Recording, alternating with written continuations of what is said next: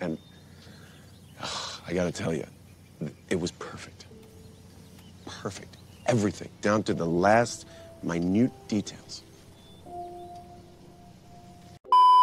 Yo, what's going on? Back to our video. For this video, I'm gonna show you top 3 Tatsumaki combos in the strongest battlegrounds. Enjoy!